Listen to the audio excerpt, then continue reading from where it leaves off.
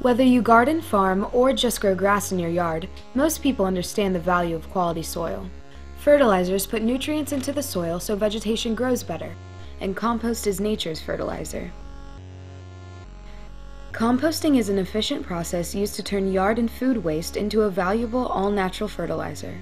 And to us here at Deffenbaugh, that just makes sense.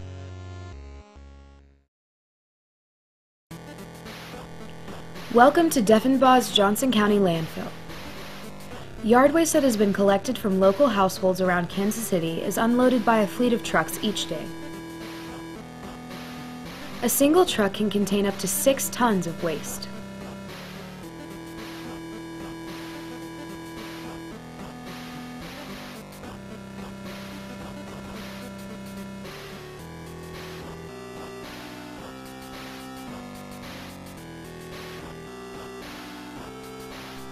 The material is scooped up and dropped off into a large tub grinder, 2 cubic yards at a time.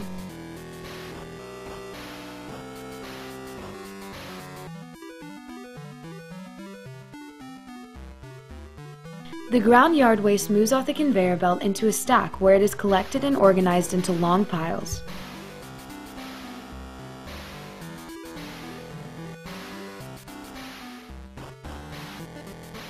These gigantic piles of yard and food waste are called windrows. Using water from a rain runoff reservoir, a truck soaks the windrows daily to maintain moisture content and keep the composting process active.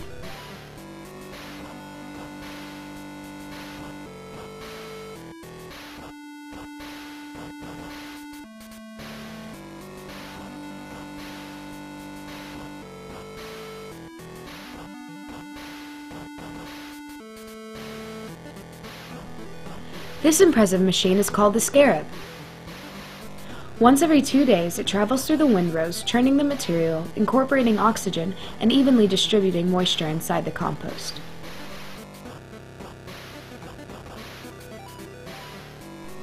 Both of these actions help regulate the internal temperature of the compost, which can reach up to 150 degrees Fahrenheit.